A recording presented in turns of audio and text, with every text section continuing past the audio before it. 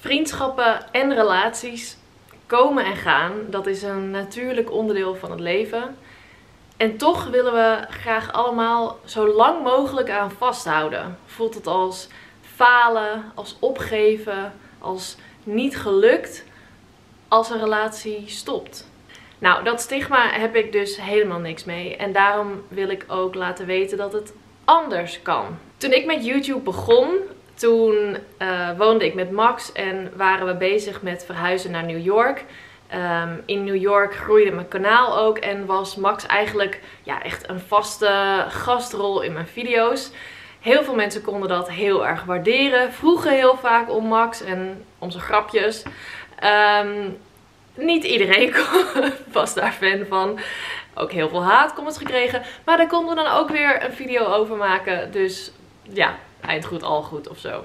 Nou, dat gezegd hebbende, um, Max is gewoon altijd heel veel in mijn video's te zien geweest. En ik wil je graag vertellen waarom dat vanaf nu wat minder of wat anders zal zijn. Niet omdat ik vind dat ik een, jullie een verklaring schuldig ben, maar omdat ik het gewoon zelf graag wil vertellen aan jullie. Max en ik zijn sinds vorige maand uit elkaar. Als allerbeste vrienden. We zijn 9,5 jaar samen geweest, waarvan 5 jaar ook nog eens getrouwd. Uit liefde zijn we getrouwd, maar ook omdat we dat nodig hadden voor het visum om in New York te kunnen wonen.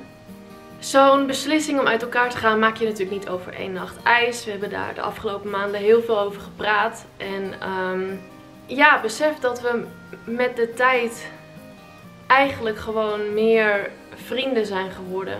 Meer vrienden dan een liefdesrelatie. In 9,5 jaar kunnen mensen natuurlijk ook veranderen. Dingen veranderen. Wij zijn veranderd.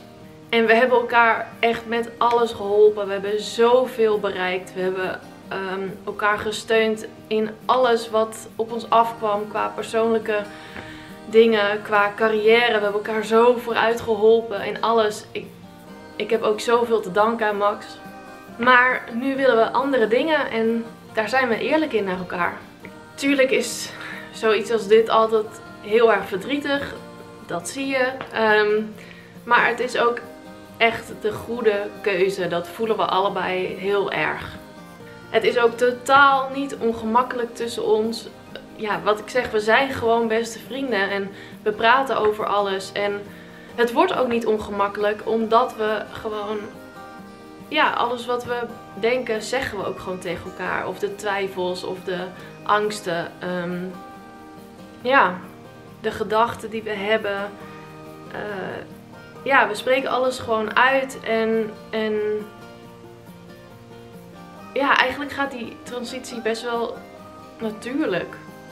Ook gewoon zodra ik ergens bang van werd over of dat nou um, huissituaties zijn of um, dat ik, ik ben bijvoorbeeld bang dat ik, um, dat ik Max minder ga zien of, of wat dan ook.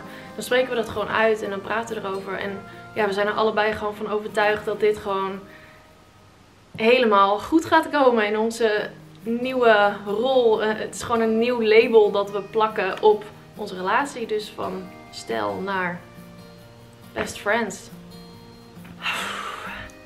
Voorlopig uh, blijf ik gewoon in dit huis wonen. Uh, met de poezels. En Max, die zullen jullie ook ongetwijfeld wel weer in mijn video's blijven zien. Hij blijft ook gewoon mijn manager.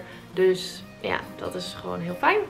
Mocht je nou nog vragen hebben, stel ze gerust. Ik ga niet beloven dat ik ze allemaal ga antwoorden, maar vragen kan altijd.